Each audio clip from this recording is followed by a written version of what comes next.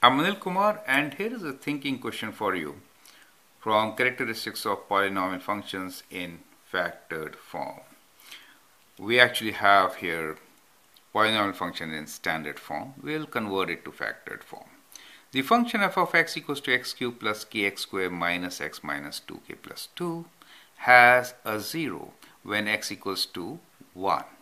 Determine the value of k, write function in factored form, graph f of x and determine all the zeros, right? Okay, so let's do it.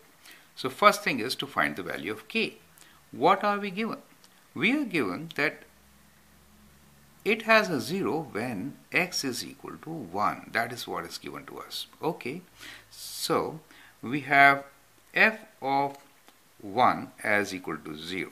It means I should substitute 1 for x. So if I write 1 for x, I get 1 cube plus k times 1 square minus 1 2k plus 2. That helps to find the value of k. So we have this as 1 plus k minus 1 plus 2. Let me write here uh, minus 1 plus 2 is plus 1 and then we have minus 2k. Okay, now that gives us uh, the value of k as what?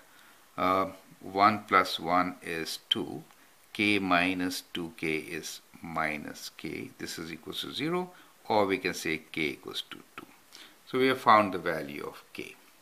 Now let us write the function again with this value of k. So what we get here is f of x is equals to x cube plus k is 2. So let me write this as 2x square uh, minus x minus 2 times 2 plus 2. That gives us x cube plus 2x square minus x minus 2 times 2 is 4 minus so we get minus 2 here.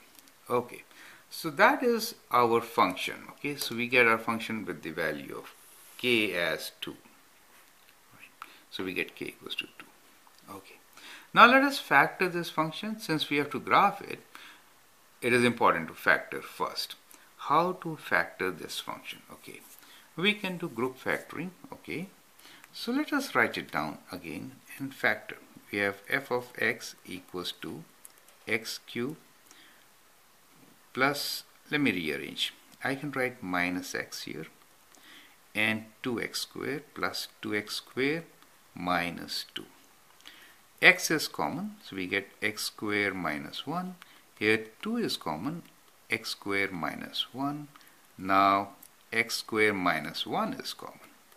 So we get x plus 2 you can factor x square minus 1 as x plus 1 times x minus 1 and we have x plus 2 so that is the factored form.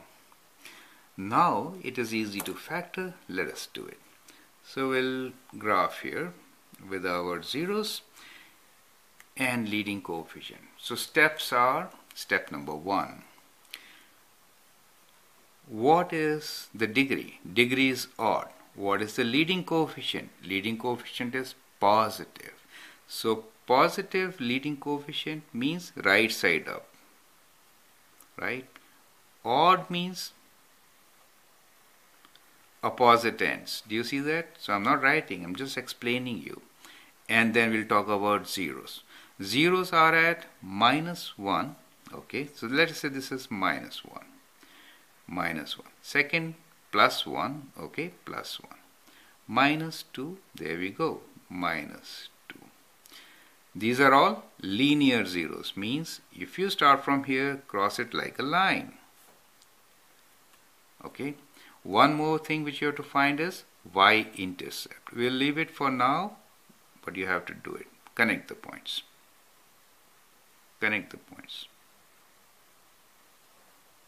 Do you see that? That's our graph. Now what is y-intercept? So we should find y-intercept is f of 0. So write 0 for x. When you write 0 for x, you get this constant, which is minus 2. So write this as minus 2 okay it may not be the minimum it's just connected, right? We are not saying it is minimum. It may look like for some, but that is not, right? So this is the graph of the function. To sketch the graph, we know now, is better to factor the equation and then rather you have to factor the equation to sketch the graph. Otherwise, you need so many points, a table of values will also give you a graph. But this is probably the best way of doing it, right? For more accuracy, what you should do is you should also find this point which is f of minus 1.5 once you get this point then it is slightly more accurate right? But otherwise it works. That is my recommendation.